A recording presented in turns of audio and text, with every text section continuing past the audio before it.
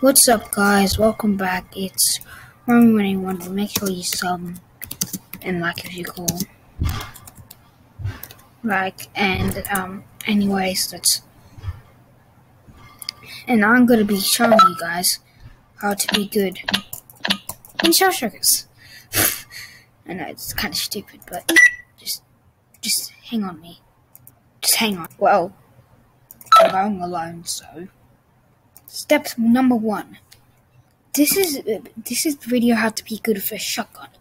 If you really want more, then I might do step step number one. Make sure you have a mouse and change your keybinds to this. Step is not really needed, but it helps a lot. So you go over here to settings and then copy this. Okay, and then get used to it. And then after you do that, I'll show you step number two. Step number two, make sure you're always jumping. Because jumping and shooting is the best thing you can do.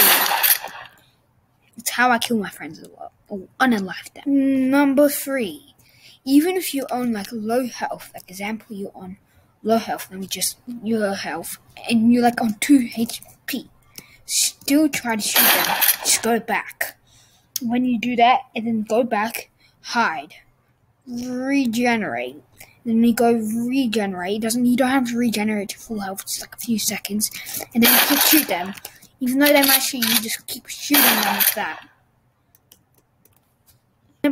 Step number three. This is kind of for catch or spatula or whatever. If you're trying to kill someone and but you're not going as fast, there is a way to get faster. By the way, it, it's like in Minecraft. You know how I you go up doing the trees and you go faster? It's kind of like in this game. You would go faster if you go like this. Snap number, I don't know. Um, why YouTube don't take this down? It's just kid friendly. One might get complicated. So this is basically the middle of the map, huh?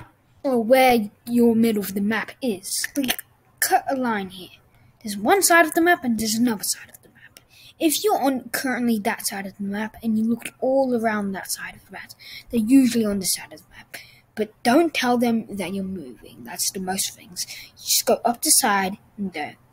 And step a number, so that might be complicated. If you want more into deep, just tell me. I might do another one on the shotgun because there's a lot of things. Step number whatever. Example, if you're over here here and there's someone over there. And you you want to get them but if you go close it's scared that you're going to get killed. Do this. So you got your mouse or whatever and keep going back and forward. It's going to be very hard for you to hit. Then you're going to quickly just go up to them then click shoot them. And look they'll be dead. If that actually happened say if you want a part two stay part two i'll do it with other guns because it's probably gonna be one, two, three, four, five, six parts.